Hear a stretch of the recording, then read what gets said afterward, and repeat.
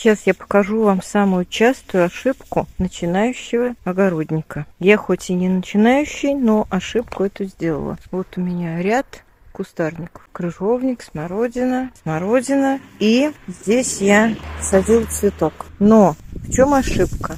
Посажен с перспективой, что он вырастет кустик крыжовника. И я сажаю рядом петунью. Она меня радует, растет все. Мне кажется, что петунья это маленькое растение, небольшое, но оно вырастает вот до таких гигантских размеров, затеняет, загораживает этот кустик крыжовника. И что получается? Света ему нет. Это невероятный, казалось бы, цветочек петунии отнимает у него площадь питания. Все. И крыжовник не вырастает так, как он должен вырасти.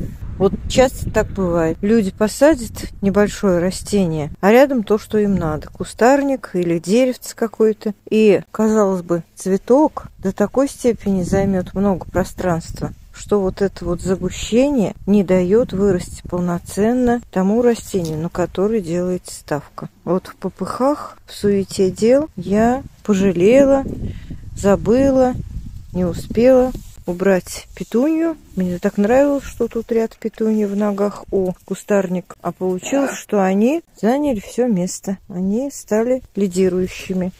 И мой куст крыжовника оказался в каком проигрыше? Тут, значит, куст петуньи вот такой вот огромный, большой. Вот это один куст петуньи. Причем это не тайдал.